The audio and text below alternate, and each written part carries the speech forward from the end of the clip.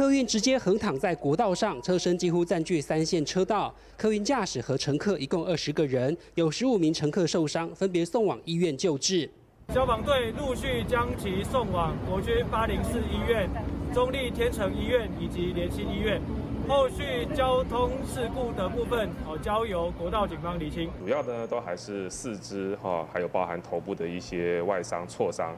那严重的伤呢，目前也都还好哦，大概有三位呢，呃，伤口稍微深一点，有做缝合的处置。事故发生在一号中午，国道三号南下五十七点六公里大溪路段。透过后方车辆的行车记录器画面看到，客运车在变换车道时擦撞到前方的货车，导致整辆车打滑，失去平衡，直接翻覆。乘客经历过生死一瞬间，久久无法平复心情。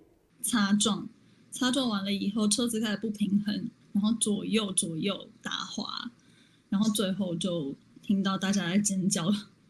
最后就翻掉了，往右边翻。